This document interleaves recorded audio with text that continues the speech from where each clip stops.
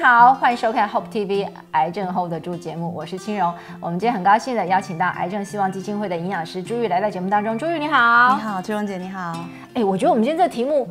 应该是不是癌友是酒友提供的？因为呢，今天要问的问题是适量的喝酒是不是有助防癌？好，有一个研究说啊，每周喝三到四杯，这个叫小酌，比滴酒不沾的人呢，哎，离癌率还要低，所以就衍生出了适量的喝酒有助防癌，是真的吗？那我这个答案要让酒友们失望了，绝对是没有这件事情，好不好？哈，其实这个呃，WHO 哈，世界卫生组织，它已经把这个含酒精饮料归类成一级致癌物哦，所以只要有含有酒精的任何东西，嗯，它就是进到身体里面，就有可能对人体。造成这个癌症的一个风险，为什么？对，因为酒里面有什么东西？有什么坏东西？好，那我就来讲哈。其实酒精进到我们身体里面，它是乙醇嘛，进到我们身体里面，它会变成一个叫做乙醛，就是这个乙醛，它就是一级致癌物，它对我们身体会造成很大的伤害。什么酒都有吗？什么酒都有哦，只要有有酒这个字，它里面。就是酒精就会代谢成乙醛，那这个乙醛呢，它经过身体有一个酵素叫做这个乙醇脱氢酶，它会再变成乙酸，哈，嗯，那后来发现，在我们亚洲人啊，其实每两个就有一个，它的这个脱氢酶的酵素是不足的，所以其实都没有办法去把它代谢成乙酸，嗯，所以就会变成乙醛累积在身体里面，对身体造成很大的伤害。那所以，千荣姐，你你觉得喝完酒脸红红的，是新陈代谢很好？对酒类代谢很好，还是代谢不好？因为我都不红，好，那醉了也不红，所以我搞不清楚。好，所以我跟大家讲哈，如果说身边有亲朋好友，他喝完酒脸有点红，表示他已经乙醛。累积过量了啊，对，所以它是没有办法代谢乙醛的，它就是那个两个的其中一个。哦，像我这种不红的，对，那你可以再多喝一点点，可以对，比较对相对代谢比较好一些，相对代谢比较好，哦所以不要觉得说他脸红哦，新陈代谢很好，就再多劝酒，绝对不要，其实他身体已经对他来说已经超出很大的负荷了。大家有没有发现，从头到尾朱意就不肯放下这个叉，不肯放下，这是叉叉叉，OK。接下来几题都要擦了。不用不用换。可是你刚刚说什么酒都有，但是你你上次也来讲，地中海饮食其实是有助健康、有助防癌抗癌。地中海饮食里面就有红酒啊，所以你刚刚说的各种酒都不要喝，大家还是会心存侥幸，想说下一个迷思：睡前小酌一点红酒有助身体健康，是真的吗？嗯，好，那红酒是什么东西做的？葡萄知道吗？对，红葡萄嘛，对不对？或黑葡萄。那其实这个有在讲说，红酒里面有一个叫白藜芦醇，其实它就是这个红葡萄跟这个黑葡萄的皮上面白藜芦醇。那我就把它拉出来讲一下这个白藜芦醇。嗯，它其实就是一个很好的这个多酚化合物，植物特有的植化素。那其实它对我们的人体有很大的帮，对我们的有很大的帮助之外，是好东西，是好东西，没有错。可是还有可是，对。它加在红酒里面，红酒里面有什么酒精？是不是酒精的乙醛又去伤害到我们的身体了？所以如果真的很想要摄取白藜芦醇来抗氧化，或是对我们身体有帮助的话，哎，什么东西里面有？我刚刚讲的葡萄，对，红葡萄跟黑葡萄，所以吃葡萄不要。葡萄皮是真的，是真的，它可以摄取到是对很多的白藜芦醇。其实它的种子里面含量也非常的丰富，所以如果像有人打汁，有没有打果汁，直接连籽一起打进去？嗯，对。那其实白葡萄里面也是有，只是它的含量没有红葡萄这么多，或黑葡萄这么多。所以说这个红葡萄红酒就被人家讲说，哎，好像很好。但是其实如果像矮友来说，真的目的是白藜芦醇的话。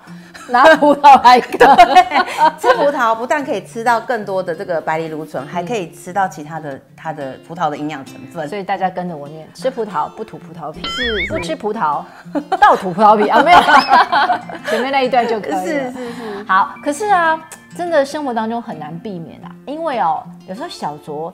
啊，尤其是朋友亲友聚会哈，开心呐，嗯，啊，你完全给我禁止，我也不开心，不开心有可能引发其他癌症，对不对？哈，啊，所以有没有可能放一点点哈，开放一点点小酌跟过量的定义？好，可不可以？有有有有有，其实啊哈，就是卫生署其实都有建议我们的这个。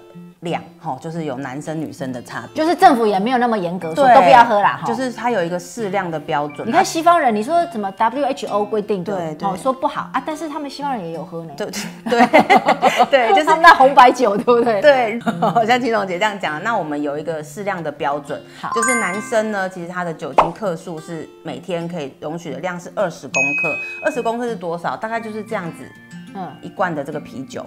哦，这样一罐啤酒，那当然说，如果酒精浓度比较高的，嗯，比如说米酒、红酒，那它量就要再稍微减少一点。这个大概四到五个 percent 吧。对，它这边是写五五度，五度。啊，我们一般红酒好像十二、十三。对对对，所以如果说像这样子比例来说，如果红酒来说，大概就是一百 CC 左右。哦啊，男生的话一天最多喝两杯就好了。那女生的话就是男生的量一半。哎，这个不公平啊！为什么？可能在代 代谢上，男女不平等，为什么？代谢上面可能女生可能她的这个代谢比较比较不好，所以她就是。要求对，它就是都是一半，男生是二十公克的酒精，女生是十公克啦。嗯，对啊，但是还是要跟大家讲，不管是二十公克、十公克，你代谢到身体里面，它都是会去产生乙醛，都是会对身体造成一些伤害，所以是最好是不要啦。而且你刚刚有提供一个参考标准，假设你喝红酒是那种很容易红的，你就是属于乙醛代谢比较差。对对对啊，那你就可能要更少，或者不要喝。对对，没错。好啊，但是有当然特殊的状态，就是在治疗当中，嗯，治疗当中的人可以喝吗？癌症治疗？当然是最好不要，就是如果我是建议酒类是，就是连刚刚那个参考标准都，嗯嗯，对啊，真的我觉得都，尤其在治疗过程中，酒类其实对我们身体还是有其他的危害，会增加我们身体一些其他发炎反应，所以最好是不要在治疗中喝到酒。发炎反应哦，对，哦，就比如说你有开刀，或者是你在做药物治疗，没错没错。好，可是啊，有时候我也不是故意喝的啊，对，就是比如说家里人会煮东西给我补一补啊，或煮呃。平常的食物就会有，比如说哦，那麻油鸡，比如说那花雕鸡，好啊，甚至西菜，呃，西餐里面有白酒蛤蜊、红酒炖牛肉。你看我们的食物有这么多以酒入菜的东西，怎么办呢？要不要吃呢？好，很多人会说用酒入菜，是不是煮一煮酒精就挥发了？哎，对呀，对，说就是说那个麻油鸡或烧酒鸡，对，给住淡薄啊，好，给住之类。那个酒精就没有了，好挥发了啦。那青龙姐还记不记得，其实很多新闻有没有都说在酒测的时候啊，然后他说我刚刚只是喝了一碗姜母鸭，酒测就不过。好，这边我跟大家讲一个数字，如果酒精要完全挥发，至少要烹煮三个小时，才有办法完全挥发。所以如果只是短暂的烹煮、拌炒五分钟内，其实酒精的含量都还在七十五帕以上。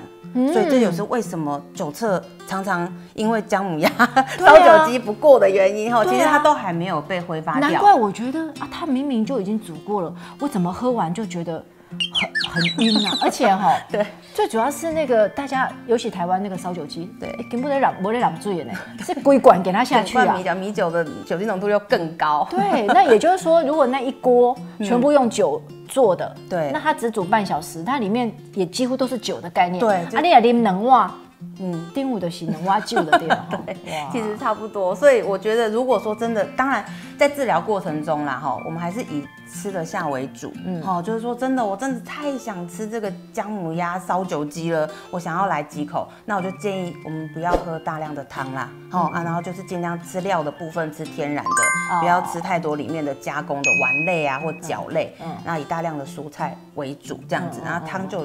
尽量少吃，嗯，了解了解。所以那白酒蛤蜊，哎，不过应该还好的，它不是全部白酒下去，对，鲜花就是还是会有一点点调味，对，哦。对，所以说还是可以吃啦，但是就是说不要说频率很长。然后大量，尤其像我刚刚讲前面用整罐 米酒下去煮那种，然后你还喝好几杯汤，这样就就不好了。你等于在喝酒，懂吗？对对对，哦，不可以打这种擦边球。是是。OK，好，针对酒跟癌症的迷思，今天非常谢谢朱毅来到节目当中，谢谢。好，谢谢谢谢青龙姐。OK，癌症 hold 得住，为大家打破迷思，解答疑惑，也欢迎您为我们按赞、分享、订阅、开启小铃铛。如果你还有其他的疑问或迷思，欢迎在下方留言。我们下次见，拜拜，拜拜。